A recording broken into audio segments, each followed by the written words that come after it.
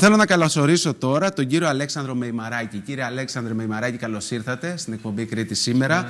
Πρόεδρος Σωματείου Εκπαιδευτών Υποψηφίων Οδηγών Οδήγησης Νομού Ηρακλείου. Νομίζω πλέον έχετε κάθε λόγο και εσείς, αλλά και οι υποψήφοι εξεταζόμενοι να χαμογελούν καθώς σε 10 μέρες τελικά ανάβει το πράσινο φως, έχει ανάψει ήδη το πράσινο φως και ξεκινούν οι εξετάσεις της οδήγησης. Ε. Ακριβώς. Ε, συγκριτημένη η αισιοδοξία. Πρώτα απ' όλα θέλω να σας ευχαριστήσω πολύ για την πρόσκληση. Χαρά μας. Και να ευχηθώ στην αγαπημένη μας Νικολέτα γιατί έχουμε περάσει πάρα, πάρα πολλά μαζί εδώ και από το πλατό και σε άλλα διάφορες δράσεις που γίνανε. Καλή επιτυχία σε αυτό που πρόκειται να κάνει και που έχει ξεκινήσει ήδη.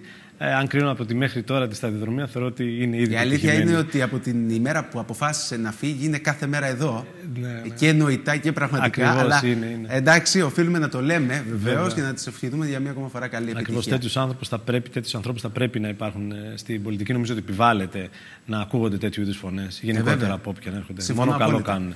Λοιπόν, λοιπόν να προχωρήσουμε κύριε, στο πάμε θέμα στο θέμα μας, κύριε Μημαράκη. Ακριβώς. Το θέμα το δικό μας, μετά από 9 μήνες ομοιρία, ε, ο Υπουργός τελικά έκανε αυτό το βήμα πίσω που έπρεπε να κάνει, που κατά τη γνώμη μου θα έπρεπε να έχει κάνει εδώ και πάρα, πάρα πολύ καιρό. Δηλαδή, ε, αφήνει τον εκπαιδευτή μέσα στο δεύτερο στάδιο της εξέτασης. Και ποιον εκπαιδευτή, τον εκπαιδευτή ο οποίος εκπαίδευσε τον υποψήφιό του. Εκεί λοιπόν για να καταλάβει ο κόσμος τι πρόβλημα υπήρχε, η εξέταση πλέον λοιπόν έχει χωριστεί σε δύο στάδια. Είναι το πρώτο στάδιο, το οποίο γίνονται οι ελιγμοί, δηλαδή το παρκάρισμα, η επιτόπου στροφή ή οπισθοπορία με στροφή. Και το δεύτερο στάδιο, το οποίο γίνεται η πορεία που λέμε. Δηλαδή μέσα στον αστικό ιστό ή και στην εθνική ή οπουδήποτε θα κάνει η πορεία ο υποψήφιος. Στο πρώτο λοιπόν στάδιο, αυτή τη στιγμή έτσι όπως ισχύει η νομοθεσία, ο υποψήφιος είναι μόνος του είτε σε ένα χώρο περιορισμένο και κλειστό, είτε σε ένα δημόσιο δρόμο που με την αστυνομία, με τη βοήθεια της αστυνομίας, τον έχουμε κλείσει. Και κάνουμε τη διαδικασία αυτή. Στο δεύτερο λοιπόν στάδιο έχουμε τον υποψήφιο με τον εκπαιδευτή μαζί και τον εξεταστή στο όχημα. Εκεί είχαμε λοιπόν την αντίδρασή μας ότι έπρεπε να είναι κάποιος άλλος εκπαιδευτής και όχι εγώ, παράδειγμα, που τον έχω εκπαιδεύσει. Θα πρέπει να είναι ένας άλλος μέσω κλήρωσης. Εκεί υπήρχε πρόβλημα μέσω θέμα του ανταγωνισμού το και είχαμε πολλά δείξει άλλα. και σε προηγούμενα ρεπορτάζ που είχαμε κάνει μαζί, έτσι. Το θυμάστε. Υπήρχε πώς... ένα κόλλημα σε αυτή την Ναι, περίπτωση. υπήρχε ένα κόλλημα και καλά έκανε ο Υπουργός και το πήρε πίσω. Προσπαθήσαμε, βέβαια, δεν σας κρύβω, ε, να πάρει πίσω και το πρώτο στάδιο με την έννοια να είναι ο εκπαιδευτής μέσα που να μην χρειαστεί αυτό το πρόσθετο ασφαλιστήριο που θα επιβαρύνει τώρα ε, τον υποψήφιο αλλά δυστυχώς δεν. Πάντως, κύριε Μημαράκη, καλό το πρακτικό κομμάτι της υπόθεσης το οποίο μας μεταφέρεται αυτή τη στιγμή, αλλά πραγματικά θέλω να μείνουμε λίγο στο κομμάτι, γιατί καταφέρατε και σαν σωματείο, σαν σύλλογος ε, και σε πανελλαδικό επίπεδο, αλλά ε, και σε τοπικό, να κάμψετε την επιμονή ε, και του Υπουργείου, αλλά και του κυρίου Σπίρτζη. Θυμόμαστε όλοι ε, που συναντήσεις, τι οποίες πραγματοποιούσατε στο παρελθόν με τον ίδιο και όταν είχε έρθει στο Ηράκλειο, ε, για να πάρει πίσω τελικά κάποιες σκέψεις που είχε ε, για νέες τροπολογίες που τελικά θα πήγαιναν ακόμα πιο πίσω την εξέταση της, ε, της οδήγησης. Ακριβώς. Όλο αυτό δεν θα μπορούσαμε να το είχαμε καταφέρει και εδώ ευχαριστώ στο σημείο αυτό πάρα πολύ τους συναδέλφους μου οι οποίοι στήριξαν και την άποψή μου και την απόφαση μου το συνεχίζουμε έτσι και του Διοικητικού Συμβουλίου ένα παραπάνω.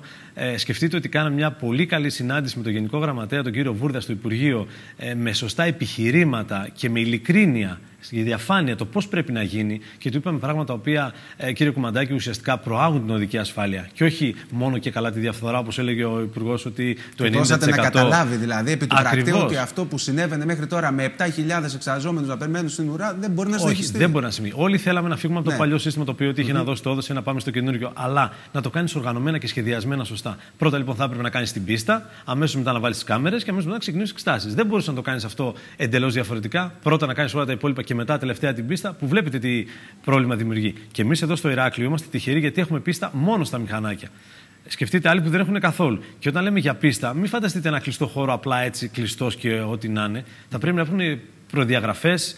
Είναι δύσκολο να συμβεί αυτό και να βρεις ένα χώρο τουλάχιστον 20-25 στρέμματα για να κάνεις αυτό το πράγμα έτσι όπως πρέπει να το κάνεις. Και να εξετάζεται από υποψήφιο της μοτοσυκλέτας, του αυτοκινήτου, αλλά και του επαγγελματίας. Φορτηγό, λεωφορείο, νταλίκα, μεγάλα οχήματα που θέλουν πολύ χώρο για να κινηθούν και να κάνουν αυτούς τους ελιγμούς. Τι γίνεται τώρα με τις προτεραιότητες, ποιοι θα εξεταστούν πρώτοι; Υπήρχε και ένα θέμα με τους 70 οι οποίοι και αυτοί παρέμεναν στην ουρά για να ανανεώσουν τα διπλώματα οδήγησης. Για βάλτε μας τα λίγο στη σειρά για να ξέρουν οι τηλεθεατές ποιοι τελικά θα είναι αυτοί που θα εξεταστούν πρώτα. Ακριβώς. Στο ΦΕΚ, λοιπόν, αυτό που δημοσιεύτηκε και ουσιαστικά καταργεί την εναλλαγή του εκπαιδευτή, υπάρχει και κάτι άλλο νεότερο για τους 74χρονου, ότι τους δίνει μια πεντάμινη παράταση έτσι ώστε να δώσουν μετά από πέντε μήνες. Αλλά ποιους όμως, αυτούς που ήδη προέρχονται, που έρχονται τώρα πάνε να κάνουν τις ανανεώσεις. Τι σημαίνει αυτό πρακτικά, ότι η υπηρεσία η δικιά μας μέχρι τώρα έχει στάσει πάνω από χίλιους 74χρονου. Σκεφτείτε λοιπόν και έχει μείνει και ένα αρκετά σεβαστό νούμερο πίσω.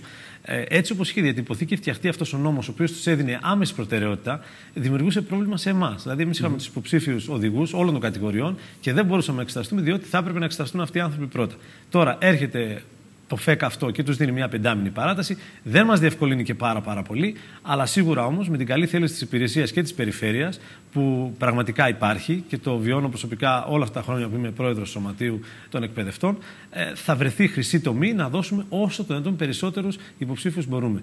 Σκεφτείτε ότι εμείς είμαστε οι πρώτοι που χαμογελάμε και οι πρώτοι που θέλουμε να ξεκινήσουμε. Πιο πολύ από τον κάθε υποψήφιο. Αυτό θέλω να το σημειώσουμε. Στα αρνητικά της υπόθεσης, από ό,τι σας άκουσα να λέτε και πρόσφατα, παραμένει το, το κόστος της ασφάλισης. Θέλω να μας το εξηγήσετε και αυτό και γιατί είναι νομίζω αυτό που αλλάζει στην προκειμένη περίπτωση. Αυτό στην προκειμένη περίπτωση δυστυχώς θα παραμείνει ως έχει. Δηλαδή ο Υπουργός δεν δέχτηκε την πρότασή μας να είμαστε εμείς μέσα στο πρώτο στάδιο. Δηλαδή εκεί που θα κάνει ο υποψήφιος παρκάρισμα, επιτόπου στροφή και οπισθοπορία με στροφή. Εκεί που τα κάνει αυτά θα είναι μόνος του. Οπότε λοιπόν καταλαβαίνετε, καταλαβαίνετε ότι ένας υποψήφιος μόνος στο αυτοκίνητο και κάτω από αυτές τις συνθήκες του στρες πρέπει να υπάρχει ασφάλιση. Το προβλέπει ο νόμος εξάλλου, έτσι. Οπότε είτε σε κλειστό χώρο είναι, είτε σε ένα δρόμο δημόσιο με την αστυνομία να τον έχει κλείσει, είτε οπουδήποτε αλλού σε πίστα γίνει, θα πρέπει να υπάρχει αυτό το ασφαλιστήριο. Και αυτό το ασφαλιστήριο θα επιβαρύνει τον υποψήφιο. Τώρα, περιμένουμε και την επόμενη κυβέρνηση. Περιμένουμε άλλο υπουργό. Πώς θα αλλάξουν, πώς θα διαμορφωθούν όλα αυτά. Αν θα Πιστεύετε το ότι πίσω... αν αλλάξει η κυβέρνηση, αν αλλάξουν τα δεδομένα, ενδεχομένως να έχουμε πισωγυρίσματα στην όλη κατάσταση; Να σας πω, κύριε Κουμαντάκη, έχουν δεσμευτεί σε αυτό το πράγμα. Διότι, ε, να, πούμε, να είμαστε ειλικρινείς, αυτός ο νόμος που ισχύει τώρα, το 4599, δεν έχει μόνο αρνητικά. Έχει και πολλά καλά. Εμείς λοιπόν τι θα μπορούσαμε να κάνουμε, να κρατήσουμε κάποια καλά που έχει και να αλλάξουμε όλα αυτά τα κακό κείμενα τα οποία ήταν και ανεφάρμοστα. Είναι στο χέρι μας λοιπόν και της πολιτείας να τα αλλάξει όλο αυτό και να κάνουμε μια σωστή νομοθεσία που θα προάγει την οδική ασφάλεια. Βλέπετε πόσους νεκρούς τρινούμε και ειδικά εδώ στο νησί μας κάθε χρόνο. Τι θα πρέπει λοιπόν να κάνουμε, να το αλλάξουμε όλο αυτό το πράγμα. Και αυτή είναι η δουλειά του εκπαιδευτή. Δεν είμαστε μεσολαβητές ή διαμεσολαβητέ ή διεκπαιρεωτέ, αν θέλετε να το πω πιο σωστά, για ένα άνθρωπο που θα έρθει για να βγάλει και καλά το δίπλωμα. Αυτό είναι το φυσικό επακόλουθο. Θα πρέπει να μάθει να οδηγεί αυτός ο άνθρωπος, να του περάσουμε έχουμε κυκλοφοριακή συνείδηση, την κουλτούρα αυτή που ενδεχομένως δεν έχουμε, ή την παιδεία που λέμε ότι λείπει συνέχεια, η οποία, μα πώς γίνεται να λείπει από τον Έλληνα οδηγό, ο οποίος στην Ελλάδα δεν την έχει, φεύγει και πάει στο εξωτερικό και την έχει. Πώς γίνεται αυτό το πράγμα; Και, και η κουλτούρα έρχεται όλη. Και από ό,τι διάβαζα, κύριε Μεμιμαράκη, από ό,τι φαίνεται, τα ποσοστά θνησιμότητα στους δρόμους της χώρας μας ε, δεν πέφτουν, αυξάνονται ή τουλάχιστον μένουν σταθερά. Δηλαδή δεν υπάρχει κάποια αλλαγή νοοτροπίας και σκέψης όσον αφορά την οδηγική συμπεριφορά. Ακριβώς. Νομίζω το γνωρίζετε εσείς από πρώτο χέρι. Το γνωρίζω, το γνωρίζω δυστυχώς δεν υπάρχει. Είναι πολλά πράγματα που πρέπει να αλλάξουν. Ε, Καλώ το Υπουργείο ξεκινάει να αλλάζει κάποια πράγματα. Θα έπρεπε όμως να καλέσει όλους τους εμπλεκόμενους φορείς οι οποίοι κακώ, καλός, κακός είναι μες στα πράγματα και γνωρίζουν. Εγώ προσωπικά έχω 21 χρόνια εμπειρία στο αντικείμενο αυτό. Ε, ε, γνωρίζω αρκετά πράγματα. Θα μπορούσα λοιπόν να βοηθήσω. Και θα μπορούσε το Υπουργείο να με καλέσει και να μου πει: Έλα εδώ, όχι σε ρωτάω αν θες να τα αλλάξουμε ή δεν θες. Όχι. Ναι, θέλω να τα αλλάξω. Πώς θα το κάνω, τι θα πρέπει να προσέξω; Ορίστε προτάσεις, τι μπορεί να δουλέψει, τι δεν μπορεί να δουλέψει και τι μπορεί να προάγει την οδική ασφάλεια. Και πρέπει να ξεκινήσουμε, κύριε Κουμαντάκη, από την εκπαίδευση των μικρών μας φίλων σε όλες τις βαθμίδες, από, από το δημοτικό θα πρέπει να γίνει, να μπει αυτό το μάθημα επιτέλους και να διδάσκεται. Το λέτε πολύ άτομα. καιρό τώρα και ναι. απορώ ναι. πω δεν έχει εισακουστεί αυτή η πρόταση και τελικά να γίνονται μαθήματα ε, καλής οδηγικής συμπεριφοράς, ασφαλούς οδηγικής συμπεριφοράς στα σχολεία. Ακριβώς και πρέπει δεν να Δεν έχει πιάσει τόπο, δεν ξέρω εσείς δεν έχει πιάσει όπω θέλαμε να πιάσει. Αν δείτε και στο νέο νόμο, δίνει το δικαίωμα στους εξεταστές να το κάνουν αυτό το πράγμα.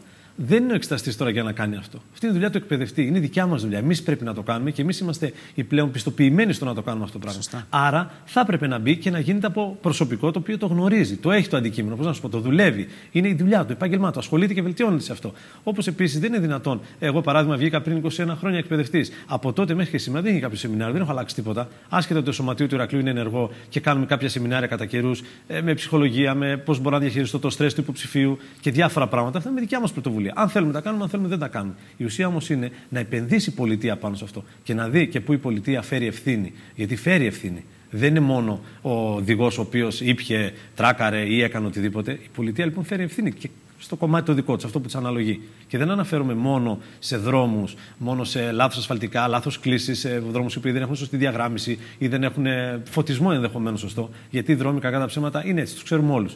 Εμείς λοιπόν τι κάνουμε. Άρα πρέπει να επενδύσουμε στον άνθρωπο και αυτή είναι η διαφορά του εκπαιδευτή που λέμε, που λέμε, που λέμε. Αυτό πρέπει να γίνει. Οι εξετάσεις κάποια στιγμή θα ξεκινήσουν.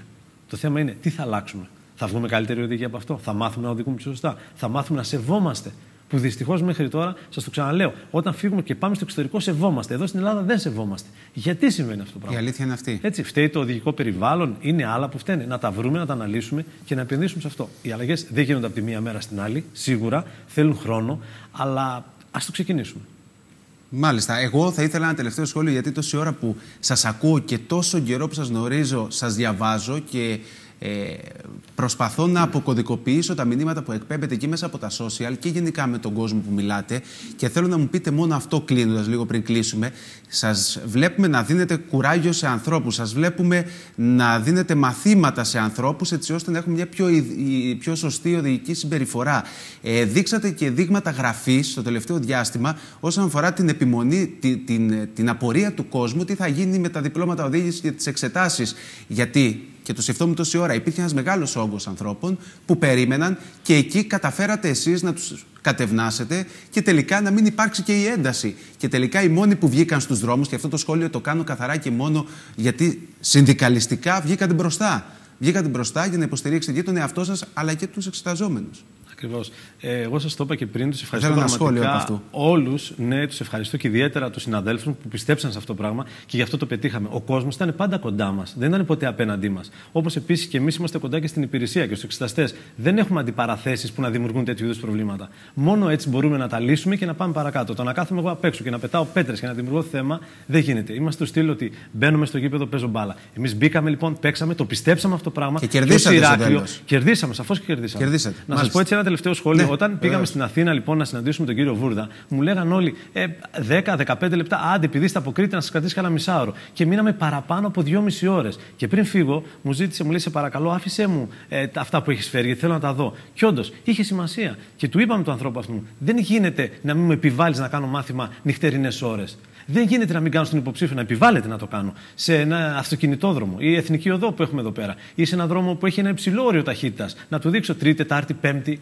Και όχι αυτό το σύστημα εξέτασης πρώτη, Δευτέρα, σταματά, ξεκίνα. Άρα λοιπόν μπορούμε να τα αλλάξουμε. Και ο κόσμος το στήριξε, το στηρίζει και αυτό θέλω τώρα την υπομονή του ότι θα ξεκινήσουν οι εξετάσεις, δεν θα γίνει να δώσουν όλοι στο μήνα πάνω και να έχουν το δίπλωμά τους. Σίγουρα Σωστά. όχι. Αλλά το συντομότερο δυνατό να ξέρετε ότι και η υπηρεσία και εμείς από τη μεριά μας του εκπαιδευτές το προσπαθούμε που να έχουμε το καλύτερο δυνατό αποτέλεσμα. Νομίζω ήταν η αισιόδοξη είδηση της ημέρας, κύριε Μημαράκη, και γι' αυτό θέλω να σας ευχαριστήσω πολύ που βρεθήκατε εδώ στο στούντιο της εκπομπής Κρήτη σήμερα και δώσαμε ε, πολύ όμορφες συμβουλές και χρήσιμες συμβουλές για όσους μας είδαν.